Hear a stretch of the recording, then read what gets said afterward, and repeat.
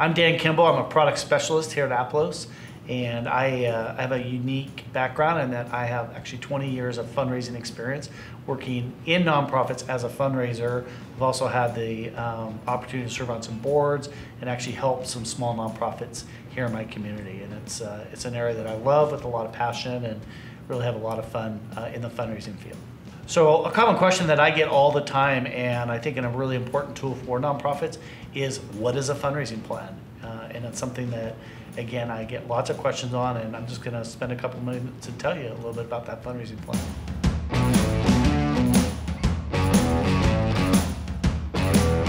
Yeah, so the fundraising plan is, is, is really a critical component of, of a fundraising operation. I really feel like that a lot of people kind of miss the boat when they don't have a fundraising plan because I look at it as, as, as like having a roadmap.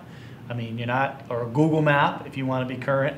Uh, but what the fundraising plan is really going to do is going to help you uh, take your goal, whatever goal that is. If you're going to raise $10,000 in, in your year or $100,000 or a million dollars, you're going to take that goal and you're going to really divide out uh, what are the strategies that you're going to raise that money. So at the, at the, at the most simple form, it's going to be you know, uh, a column that says what the task is. So let's say maybe it's a, it's a dinner banquet.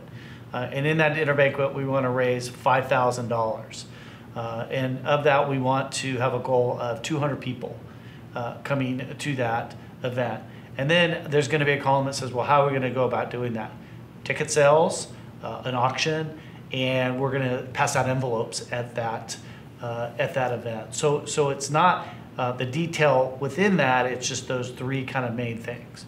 And then really, if you, if you keep going with that, then what you would do is you would put, create a fundraising plan for just that dinner banquet. Uh, so it's a plan with or a whole second sheet or event.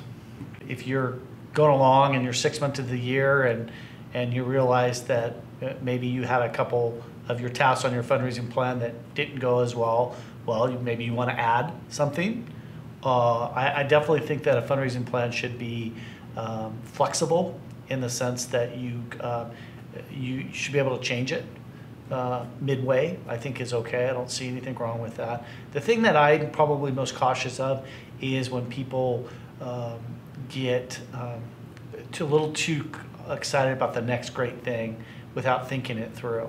You know, maybe something like you know the ice bucket challenge was a big deal. Everyone got really excited about that. Suddenly, everyone was like, well, we want to do that same thing. Well, these things take time uh, to plan out and, and, and to really execute. So I would just be careful of that. But certainly, I think uh, midway through a year, it's good to, to, to, to look together, make sure that it's not just one person driving it, but get feedback from your staff. How's this going? Uh, do, our, do our dates need to be extended out? Those kinds of things. We have a great example of a fundraising plan in the description below. So if you link on, if you click that link, we'll have that for you. A couple things with the fundraising plan that I think are, are really great. Uh, one is it kind of helps keep your staff and um, the people who are involved uh, involved also and accountable.